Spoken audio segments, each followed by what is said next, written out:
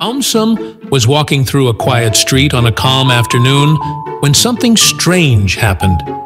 As he turned a corner, he accidentally walked straight into a brick wall. Instead of stopping, his body passed right through it. He stepped out on the other side and froze in surprise. He looked back at the wall, touched it, and then stepped forward again. Once more, his body slipped through as if the wall were made of air. Miraculously, AumSum had gained the power to walk through walls. Excitement filled him immediately. He walked into a fence and came out the other side without a scratch. Suddenly, from nearby, a loud alarm rang out. Smoke began rising from a large apartment building. A small electrical fire had started inside, filling hallways with thick smoke. People inside were confused and scared. Some stairways were blocked, and smoke made it hard to see the exits clearly.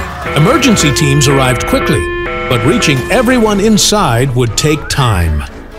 AumSum noticed the danger immediately. Without hesitation, he ran toward the building.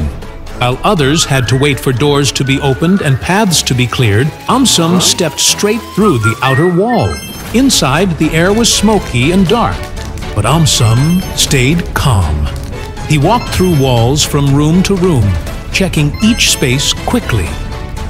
He found people trapped in blocked corridors and guided them toward safer areas by moving through walls and showing clear paths. On an upper floor, AumSum found a family unable to reach the stairs. AumSum stepped through the wall behind them and led them into a neighboring stairwell that was still clear. Everyone cheered loudly for their hero AumSum. Long ago, in a world without cities, smartphones, or even electricity, AumSum found himself waking up under a giant leaf. Nestled beside a fire he didn't remember starting. The trees were taller, the animals louder, and everything looked ancient. Somehow, AumSum had ended up in the Stone Age. He stood up, brushing leaves from his hair, only to be startled by a group of hairy creatures racing past. Other humans, but dressed in animal skins and carrying spears. Curious and cautious, AumSum followed them. He soon discovered they were hunters chasing a massive woolly mammoth. But without any training or tools, he knew joining them would be risky.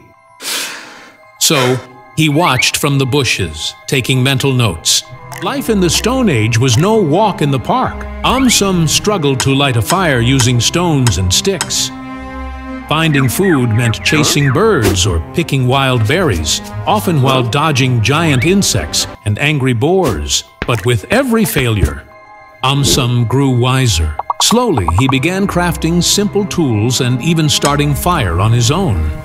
One evening, dark clouds rolled in and a massive storm struck the valley. Thunder roared, rain poured, and the tribe's cave began to flood. Panicked, the Stone Age people ran for higher ground. But a child was missing, trapped inside the collapsing cave. No one dared to go back, but AumSum didn't hesitate. With a torch in hand, he leapt over fallen rocks, dodged dripping stalactites, and found the child huddled in a corner. Using his newly carved wooden spear as support, AumSum guided the child through the rising water. When a section of the cave caved in, he used his sharp stone axe to break a path through the debris. Emerging from the cave, soaked but triumphant, AumSum handed the child to the astonished tribe. AumSum had become a hero. Hmm.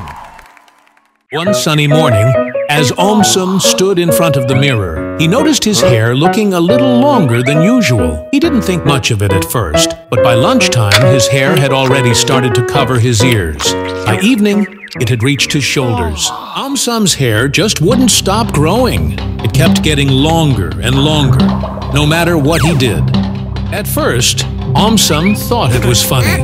He imagined himself as a rock star with long, flowing hair. But soon, his hair started to get in the way. It fell over his eyes, it covered his mouth, making it tricky to eat, and it tickled his nose so much that he kept sneezing. AumSum tried tying it up, but the hair kept growing so fast that the rubber bands snapped. He even tried wearing hats, but his hair would spill out from under them like a waterfall. By the next day, AumSum's hair was so long that it dragged behind him as he walked. At school, his friends couldn't see his face anymore. His teacher couldn't tell if he was paying attention. At lunchtime, his hair dipped into his food, making a big mess. No matter where he went, his hair followed like a long, silky tail. AumSum soon realized that having hair that never stopped growing was not as fun as it sounded. His hair would get caught indoors and even trip him up when he ran. He started to worry that his hair might take over his entire house. As the days passed, AumSum's hair kept growing and growing, wrapping around trees and fences outside his house.